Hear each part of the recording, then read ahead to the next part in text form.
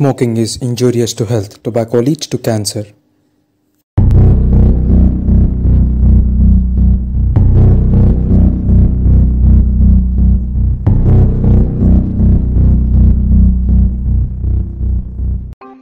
Children are the world's most valuable resource. It is not what you do for your children, but what you have taught them to do for themselves that will make them successful human beings.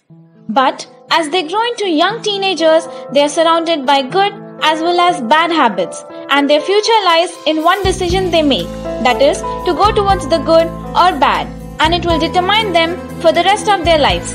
Smoking is all over the world. Many teens and adults are addicted to smoking. According to 2014 statistics, nearly 9 out of 10 adults who smoke started before the age 18. And one of the main reasons could be that their friends or family members are smokers. Other main reasons are peer pressure, dependence, for casual fun, or thinking of smoke as a self medication to ease the feeling of stress. Smoking is considered to be cool or to be euphoric.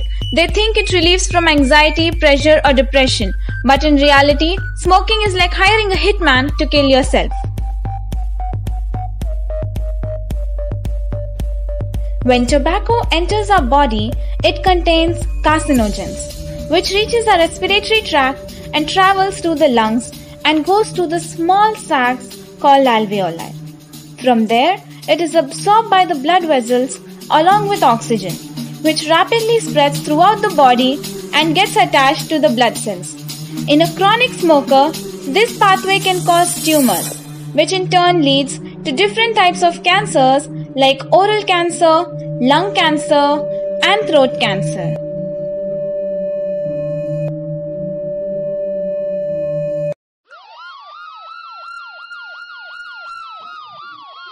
In the blink of an eye, a chronic smoker can find himself traveling in an ambulance and landing in an emergency room due to acute attacks and fighting for the last breath to survive and not being able to grasp it and eventually lead to death.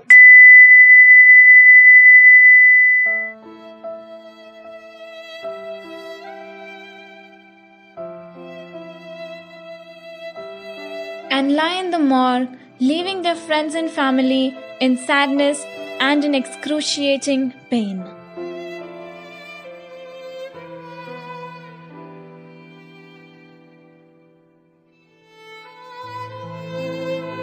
Wake up, open your eyes, and stop smoking. Let's together take an oath on this day to quit this deadly habit. Let's all raise our voices to make every day a no tobacco day. Reviewing the flashback and along with the present situation where the virus is attacking us, both of them are damaging the lungs that is leading to death and despair. In order to avoid the consequences, let's just have a quick look to quit tobacco in a natural way to lead a healthier and happy life. Build your support system around you. Try getting calm by meditation. Try getting involved in some kind of physical activities and can even reduce smoking by rewarding yourself. Replacing the smoke on your face with a smile today will replace illness in your life with happiness tomorrow. A single change can make the entire family happy.